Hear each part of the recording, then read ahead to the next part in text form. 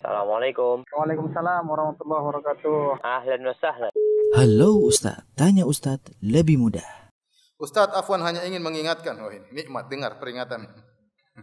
Banyak dari kita para penuntut ilmu dan yang sudah ngaji mengenal sunnah yang masih merokok.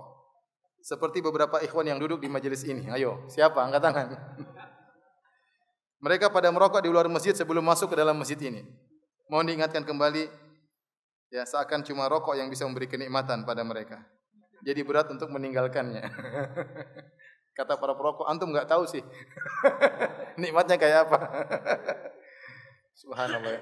Rokok hukumnya apa? Hukumnya haram. Saya contohkan benar-benar bagaimana uh, firman Allah tentang iblis yang berjanji dengan mengatakan la uzayyinanna lahum fil ardi. Sungguh ya Allah, aku akan menghiasi maksiat kepada mereka di atas muka bumi rokok ya apa sisi sisi enaknya itu apa? Enggak ada ya. Coba antum para perokok ingat pertama kali antum merokok apa motivasinya? Pasti batu-batu tapi antum paksa-paksa kan? Ya. Sampai antum bisa bertahan dengan rokok tersebut sampai kecanduan. Padahal awalnya apa kenikmatannya enggak ada. Apa motivasinya? Biar kelihatan gagah ya. Biar kelihatan keren ya. Biar kelihatan maco di hadapan perempuan ya. Atau enggak enak sama kawan. Padahal kalau ente pertama kali merokok pasti batu-batu. Pasti nggak enak ya. Setelah Anda bersabar dalam merokok tersebut, baru kemudian ada kenikmatan maksiat di belakangan muncul ya. Tapi maksud saya ini contoh bahwasanya suatu yang benar-benar tidak enak dihiasi oleh syaitan sehingga menjadi suatu yang dibanggakan. Suatu yang di, dibanggakan. Ya.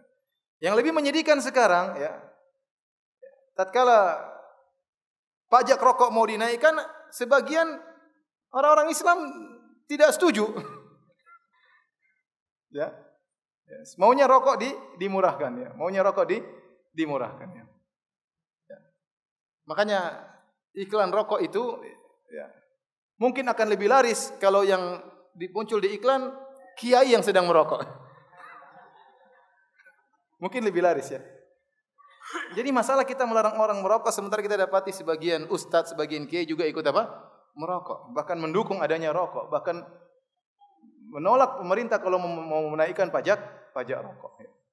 Jadi ya saya katakan kepada ikhwan bertakwa kepada Allah Subhanahu wa taala, fa bi ayyi ala'i rabbikuma tukadziban. Assalamualaikum. Waalaikumsalam warahmatullahi wabarakatuh. Ahlan wa sahlan. Halo Ustadz, tanya Ustadz lebih mudah.